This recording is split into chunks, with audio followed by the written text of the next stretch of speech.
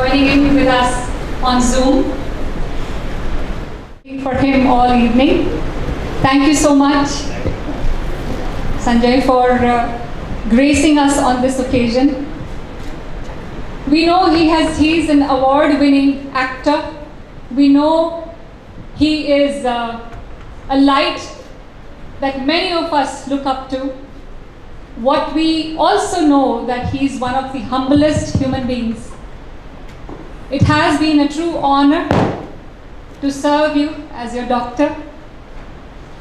One of the uh, things I always pull his leg on, I call him Sanju, he calls me Sevanti Ji.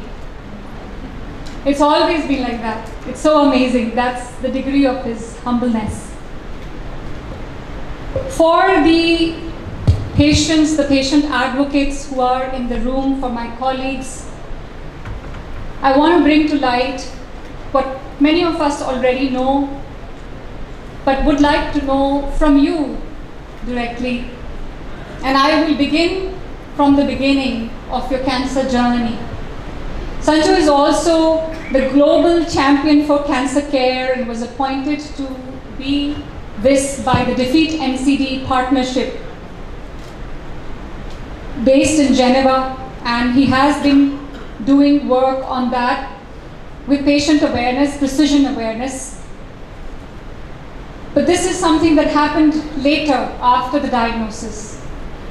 When he was diagnosed, of course, there must have been many, many emotions that he must have gone through.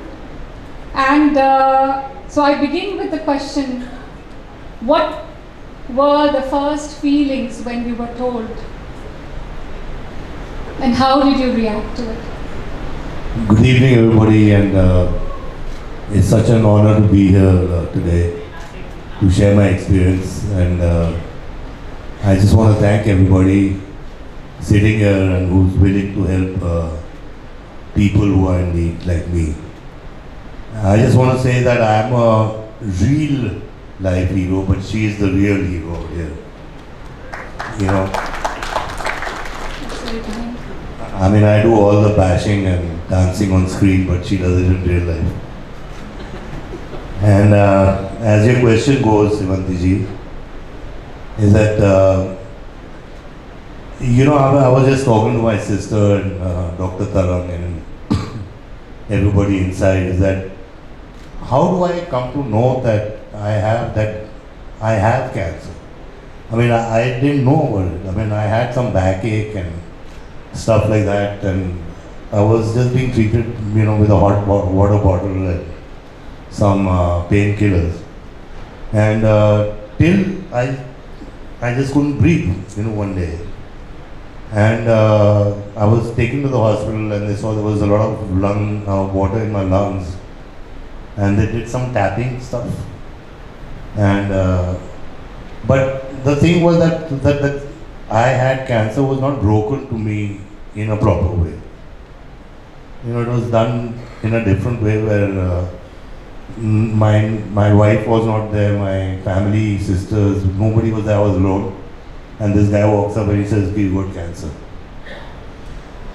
So it hit me. Uh, I just couldn't understand it, and then uh, my wife was at Dubai, and uh, here she didn't know about it. Then Priya was told. Priya came, and she said that you, you know, you, I think you got cancer. So uh, my first reaction was that, uh, okay, I got cancer. What are you going to do about it? I mean, see, you know what happens? Your whole life reflects back on you. I mean, uh, you know, everything just came back, and my children and my, you know, and I have a history in my family. My mom died of pancreatic cancer. My wife died of uh, the brain cancer and everything. And it, it was like a shock. So at, the first thing I said was that let it be. And I don't want any treatment. So they said, you have to be treated?" And I said, "I can't take chemotherapy and all that stuff. So let it be. And if it's meant to be, it's meant to be, and I'm going to go." So uh, Rakesh Kumar ji, Rakesh Roshan ji, he spoke to me, and he says, "Ki Sanjay, there's this doctor Sevanti. She's amazing and all that, and you go and be treated by her." I said, "Sir, I'm not interested. He said, I'll tell you something, she's really pretty also. I said, really? I said, then I'm going. anyway, but uh, I went and we met Sevantiji. See, uh, I realized one thing is that uh, I had to fight this and uh, I just didn't have cancer. That is it. I'm, I'm being treated for something else. And uh, I think initially you couldn't understand, I mean, how come I'm telling you all that, right? That's correct. That's very correct. He said, I'm going to just think I don't have cancer, and whatever it is, I'm going to beat it. That's how I'm going to take it. And I'm just uh, sitting there staring at him, thinking, you know, how we define denial in our uh, books. I thought, oh, he's in denial. But actually, he wasn't in denial.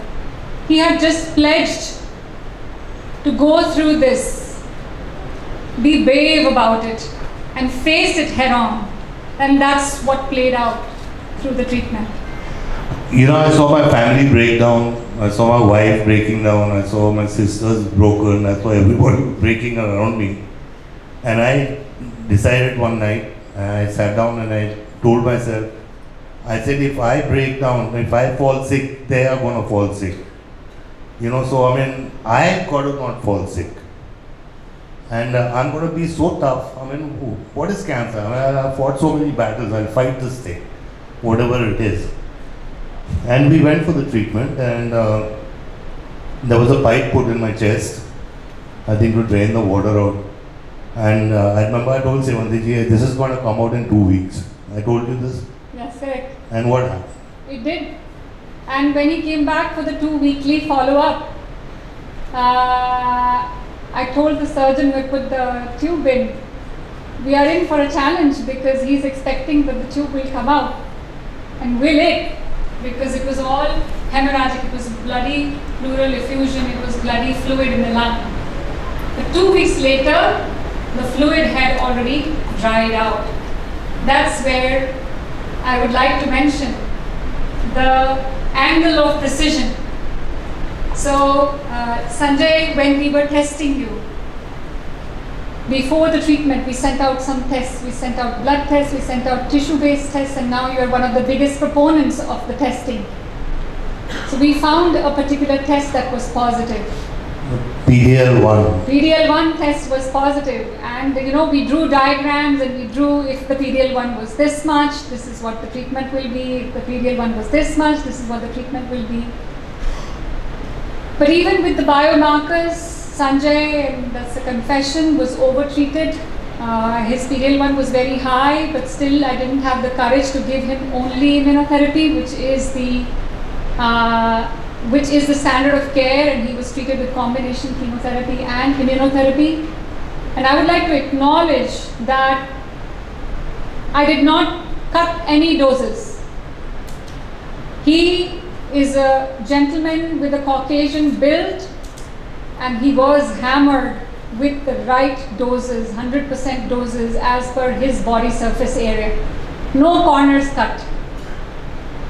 And the day of the therapy, and the next day, and the following day, and the day after, and the day after, he would continue to exercise every day, every single day. Two hours on the treadmill, and I would get the uh, WhatsApp of his exercises, and many of us who were involved in his care would, would get that. And he also went back to working almost right away. We want to hear from you how all that happened. You know, I uh, realized one thing is that, uh, uh, I mean, I didn't want to lie about the cancer, you know. Uh, you know, people kind of uh, don't want to make it public and they want to just not tell people and uh, because, you know, their work suffers and there are a lot of factors which are involved in, in this. But I chose to speak about it.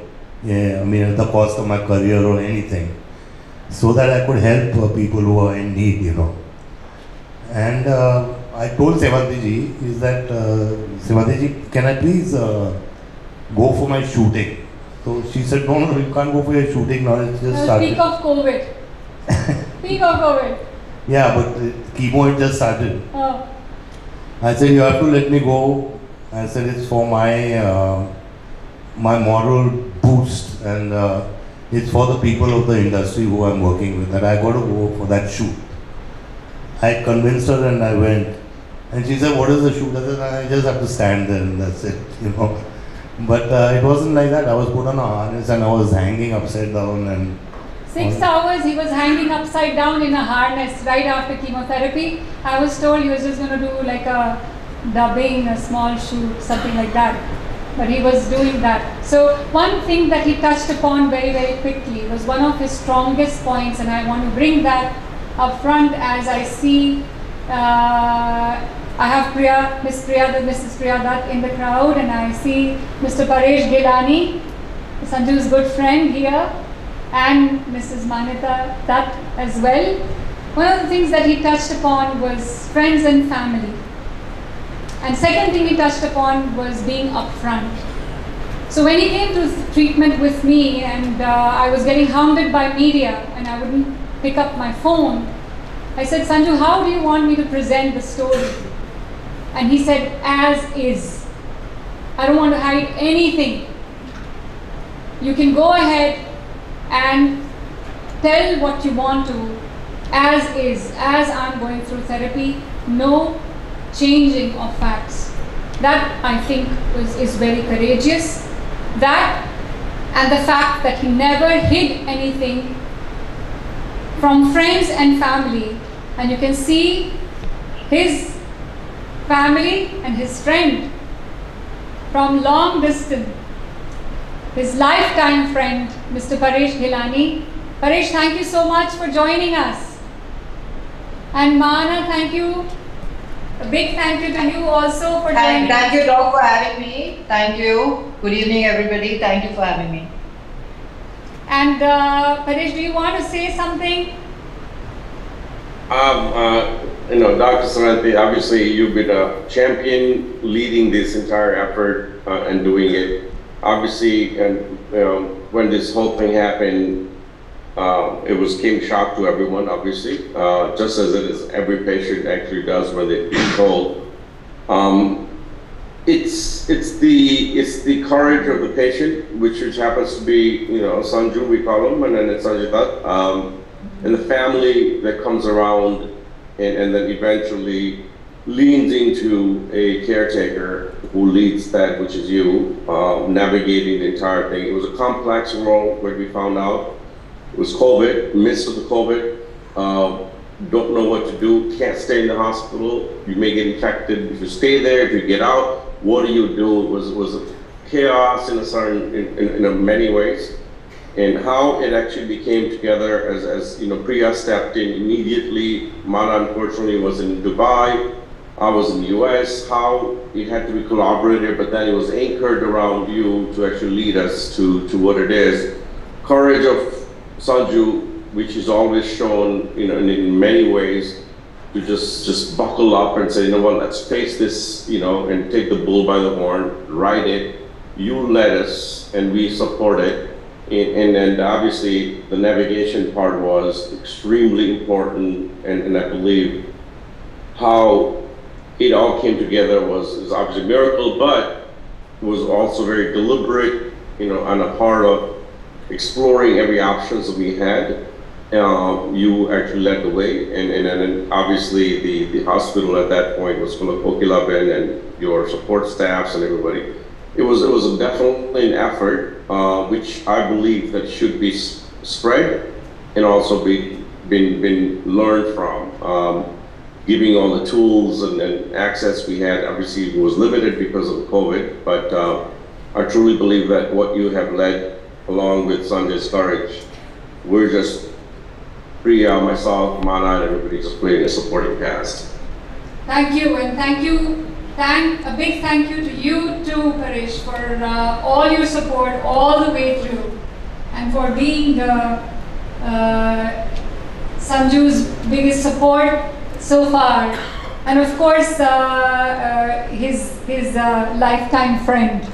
So thank you, thank you, Paresh, for joining us as well. I